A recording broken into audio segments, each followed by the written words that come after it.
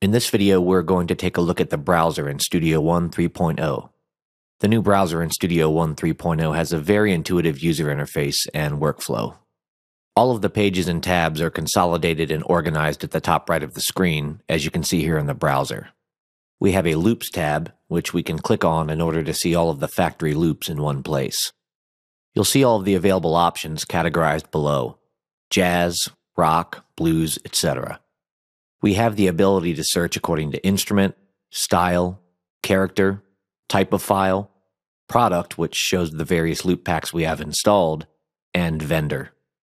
You'll see that we permanently have three assignable tabs in the Sort By column, and we can click on the tabs in order to change what we see.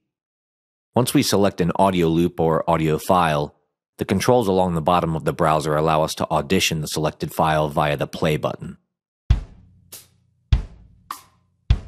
The original tempo of the loops are included in the file name, and we have a diagonal arrow button which is used to sync or desynchronize playback at the tempo of our current song. So we can hear how it will work in the context of any project we have open.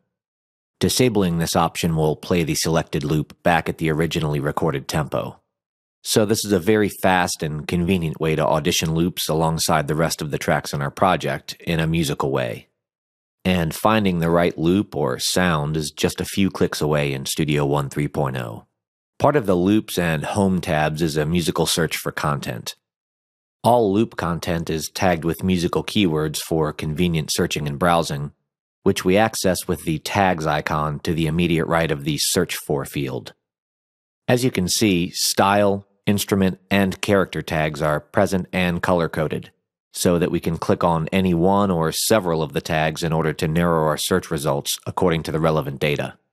As we add tags, let's say we're looking for a rock, guitar, distorted loop, the terms aggregate in the search for field. By clicking on the X in each tag, we can remove any or all of the tags to expand the search results. So if we want to just see rock guitar files, we can easily remove distorted from the results in this example. And you can see that I have 315 audio file options installed on my system.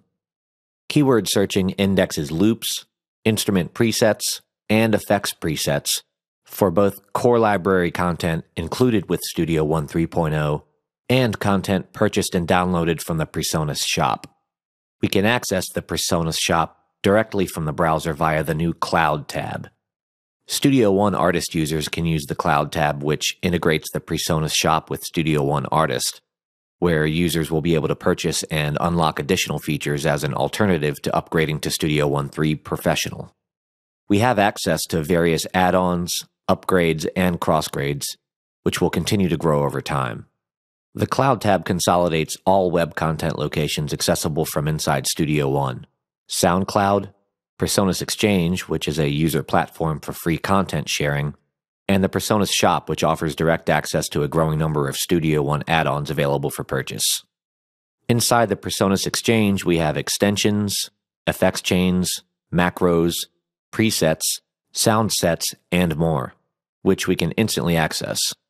And if you program a lot of MIDI instruments like I do, having pitch names for various virtual instruments and drum kits to download will make life a lot easier. The PreSonus shop content will include loops, sounds, plugins, and even new features that can be installed or unlocked directly from within the browser. Taking a look at the SoundCloud browser integration, using drag and drop, we can instantly upload any files to SoundCloud directly from the Studio One 3.0 browser. If we want to download a track from SoundCloud, we can simply select it and click download, also from within the browser. Sharing your music with the world has never been easier.